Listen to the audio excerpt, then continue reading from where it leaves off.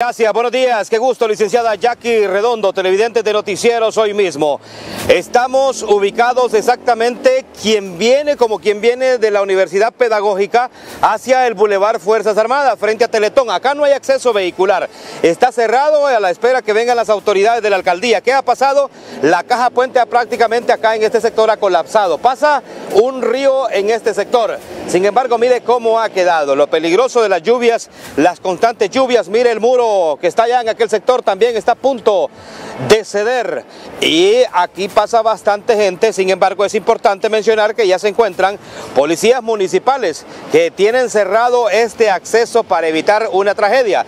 Si usted se fija de mi compañero Jorgito, es desde allá donde viene la calle y que viene hacia acá, a este sector del el Boulevard Fuerzas Armadas. Por aquí pasa mucha gente a esta hora de la mañana. Sin embargo, es el llamado urgente para que vengan a hacer los trabajos correspondientes porque las lluvias van a continuar en el país y aquí en la capital no es la excepción.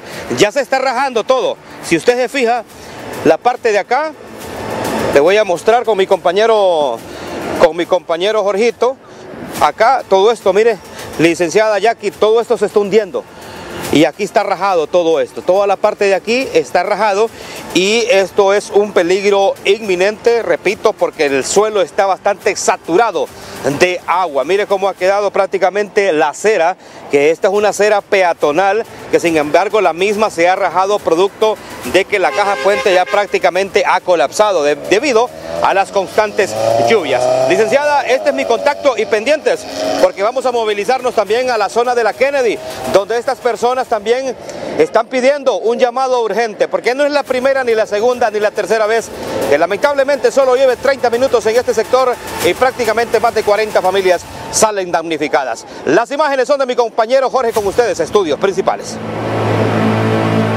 Bueno, vamos a dejar las imágenes, por favor, y vamos a ubicar a la gente. Eh, por favor, a Dalid, eh, estamos enfrente de la Teletón, enfrente de la Teletón para las personas que van a asistir a la Teletón a sus terapias. Sepan que hay un acceso que está bloqueado y esto se debe a las fuertes lluvias que han caído en los últimos días. Ahí nuestro compañero Adalid Hernández nos está dando imágenes abiertas para que usted se ubique y para que usted vea cuáles son los puntos que están cerrados enfrente de la Teletón. Gracias a nuestro compañero Adalid Hernández.